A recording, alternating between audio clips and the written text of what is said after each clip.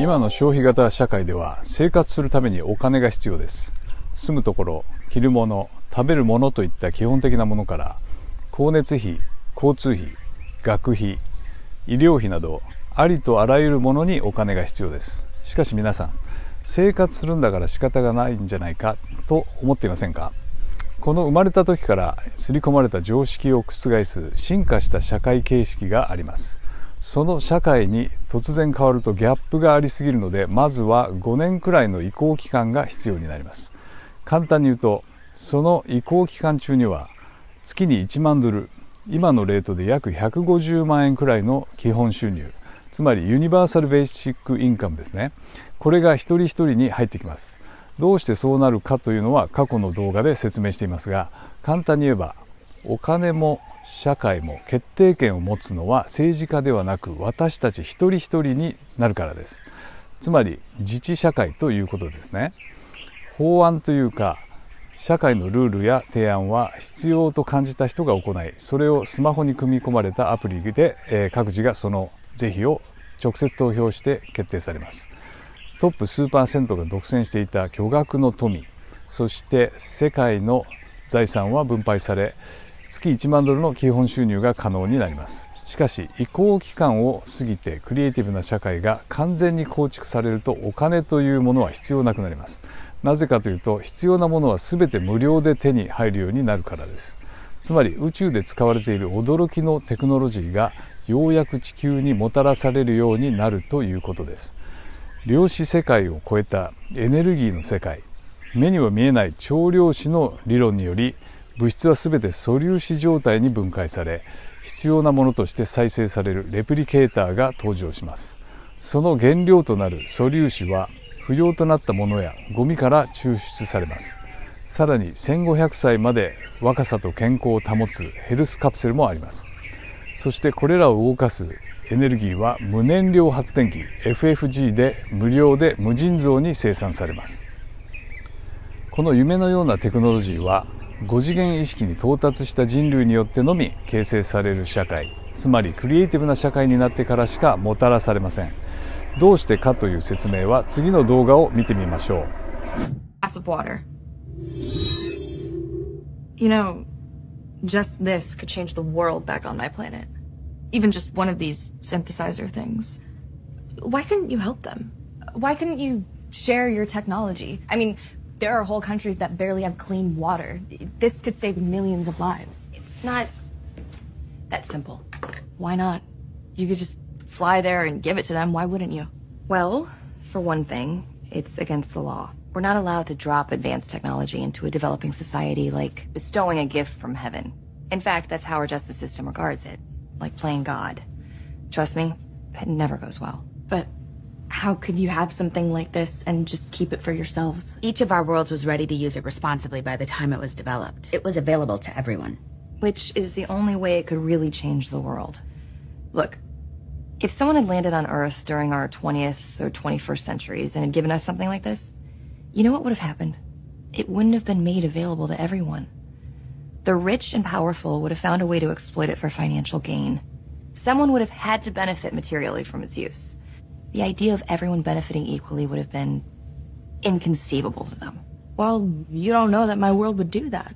It could be different. Who are you to make that judgment call? Exactly. Who are we to decide? If we're wrong, we could mess your planet up a thousand times worse. Technology and societal ethics have to progress hand in hand, each one supporting the other incrementally. Anything else is begging for disaster. Free energy generators have existed since long ago, but why do these technologies remain inaccessible to humanity?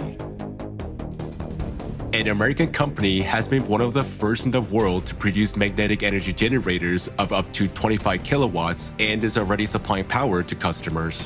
A German company produces fuel-free power plants and has branches in several countries. A Korean company has also released a working model of an electromagnetic generator with a capacity of 10 kilowatts. African technology made it possible not only to produce a free energy generator, but also to modernize a vehicle so that it could move without fuel or recharging. Fuel-free generators, FFGs, are power generators with an efficiency greater than 100%, which means they produce more energy than they consume.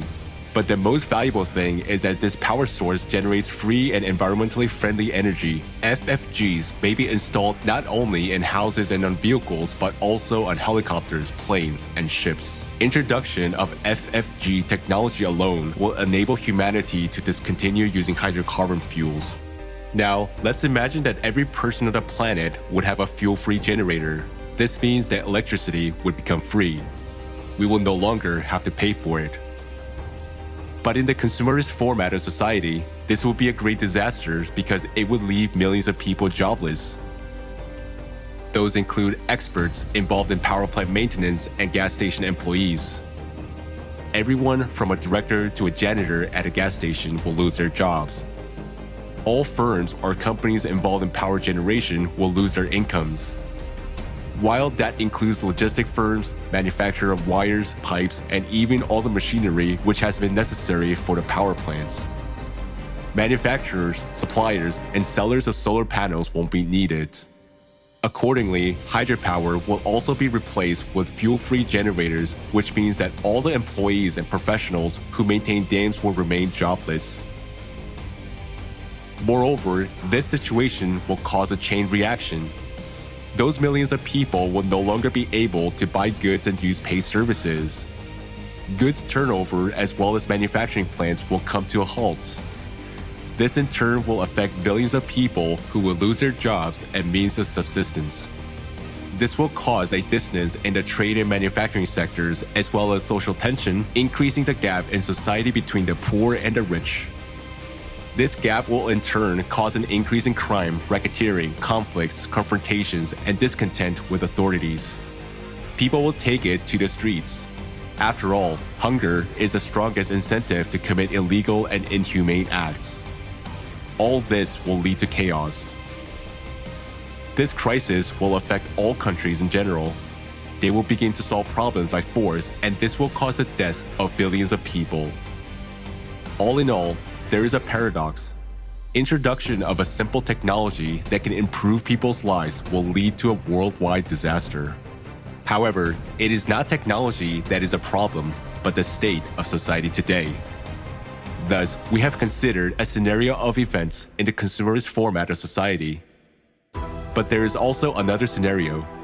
If we change the format to a creative one, this kind of technology will be quite beneficial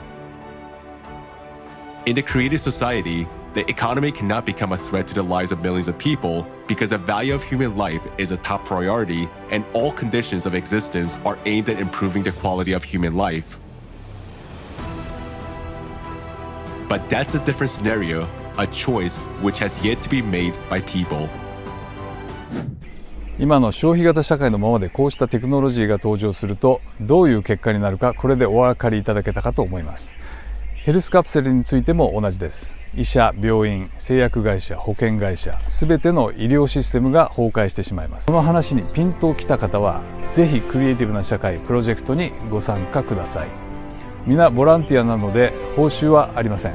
しかし人類と地球を救うために皆さんの力が必要なのです。今日はウルポヘイヤオカイルアハワイからお届けしました。